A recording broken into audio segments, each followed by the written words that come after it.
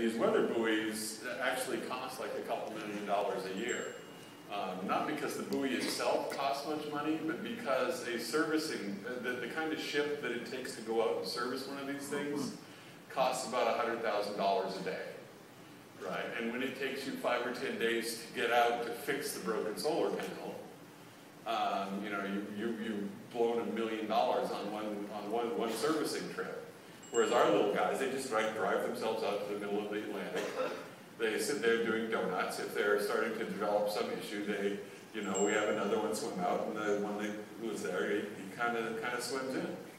Um, so it's the weather buoy that, that installs itself. Um, we get used for pollution monitoring, and that's uh, that's a that's an oil rig in the middle of the Gulf of Mexico. Um, there are these gizmos that you, you, can put on these things that, that, that um, called a barometer that, that, that, measures various things about water chemistry. Uh, we can detect oil and, and um, algae and turbidity and sort of crap. Um, and there's actually some, some folks that have like little DNA sequencers, so you can actually get like, like little little microplankton streaming through, and what you get out is DNA sequences. Those are really cool. We just don't have anywhere near enough bandwidth to, to, to, to, to send all this DNA data back. It's like, it doesn't work. Um, interesting things with like, like marine mammal monitoring. It seems kind of odd that that would be a, a big business, but it turns out that, that the oil companies really care about it because there are all kinds of restrictions on them about you know, doing things that would kill marine mammals uh, when there are marine mammals around the, the, seismic guys can't let off their bombs in the ocean when there's a whale nearby. Um, or the, the drilling rigs can. The way that the, the guys with drilling rigs work is they, they actually have like four guys with binoculars on the corners of the rigs staring out at the ocean going, uh, yeah, it looks like a whale. Um, but it's kind of hard to tell the difference between a, between a, a whale's tail at a long distance and just a, a weird wave. Uh, so the big deal for them is they end up shutting down when they when they shouldn't, and it's also really hard to operate at night because you can't visually see the crap out there. Um, but you can do a could do a much better job acoustically. And the problem with acoustics is that is that if you try to put like a uh, like, like, like, like, like, like hydrophones right around a rig or on a ship near a rig, that the, the, the, the, the mechanical noise from those things really pollutes the signal. And, and our little guys with their, their little wings, um, they make essentially no noise at all. So what you get is it's pretty much perfect acoustic recordings. Um, we can like patrol marine sanctuaries. We um, you know get involved in global warming studies. We did did one in the Arctic Ocean uh, last year. And, um, you know, it's like be afraid. Yeah, we did a, we did a, did a survey of water temperatures in the Arctic, um, and that was a, that was a really a be afraid moment. Um, so one, one of the things that's cool about our robots is that they're really, really robust, right? The, the, the, the, the hulls are these, these, these, these wonders of, of, aircraft design. We have a bunch of aircraft engineers um, who do a lot of the, the, the hull design and the, and the wing design and that and that and that crazy cable that goes in between um, is designed to take you know pretty phenomenal stresses. Um, so, so so we've been through well like, like we had a couple that, that, that went through the, the, the, bad parts of Hurricane Isaac. Um, we've been through a, a Category Four uh, tropical monsoon. Um, we you know it's it's there was one little little video I wanted to, to bring, but I couldn't get the right people to like approve because um, it's not our data. Um, but, but like in, in, in, in hurricane kind of events in the Gulf of Mexico, when you look at all the all the ship tracking data, you can see the, all the ships. They just they just like leave the Gulf and they head for the they, they, they head for all the all these harbors. And our little guys, they just like stay out there because they're powered by the waves. You know, you, you give them, you know, a 10 meter wave and they go, yes, please. you know, and a 10 meter wave is pretty frightening. Um, and, and these guys, they, they actually do okay. Um, and you know, we get shark attacks. Um, this is this is one that sort of got chomped on a little bit. Um, mostly just get scratches. We did have a, this one actually had its, its little the, the communication cable into the rudder got severed, so it ended up like drifting 100 miles off of Maui. So we had to go and had to go and rescue him. Um, so I was talking about the, the, the, the, data coming off of the, the streaming. Um, I, I, did this evaluation of like you know all these all these NoSQL things. So um, I did something that, that it's either one of the coolest things I've done in the last several years or one of the stupidest, and I still haven't decided. Which is I you know went and built my own my own little NoSQL-ish um, database thing. So and it, and it contains it's, it's got nodes. The, the nodes contain contain data.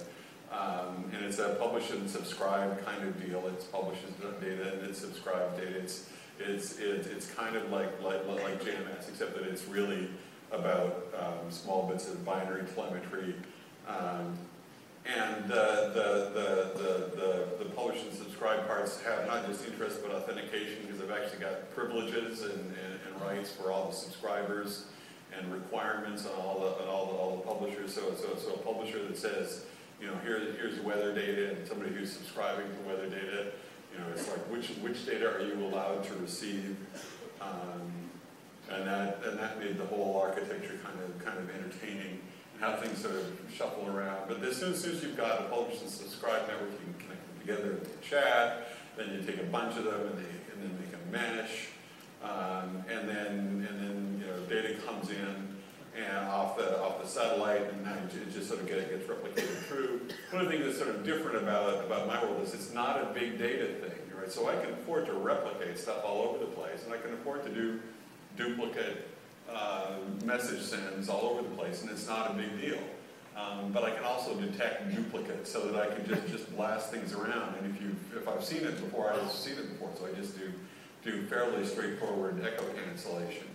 Um, one of the nice things about the way that it got that I put it together was um, really, really paranoid about reliability in this thing. Um, because you know if we have a you know if, if, the data center goes down or whatever, we've got like um, a lot of robots out of control in the middle of the ocean.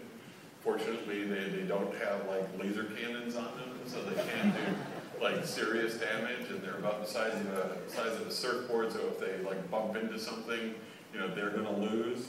Um, but um, you know there have been all kinds of issues with with, with, with various hosting providers um, you know, either either you know where they where their the hosts actually reside, or if they have like systemic failures, like the systemic failure that, that Amazon had a year or so ago, made me like really nervous. Um, so I, I, I, I, was really religious about using none of the special APIs that ISPs provide. Um, and that lets me build clusters where nodes in different clusters are not just in different data centers, but they're at different service providers. Um, and currently I'm using three service providers. I use, use GoGrid. Uh, that's where we do a bunch of stuff because we actually have some Windows machines. Um, that predates me and really makes my skin crawl, but it actually works. Um, we've got some stuff at, at which is a really interesting little high reliability hosting provider. They um, they, they use Illumos, so they used to, it used to be Solaris until the, the pricing became outrageous. Uh, and then I, then they do some stuff on, on, on.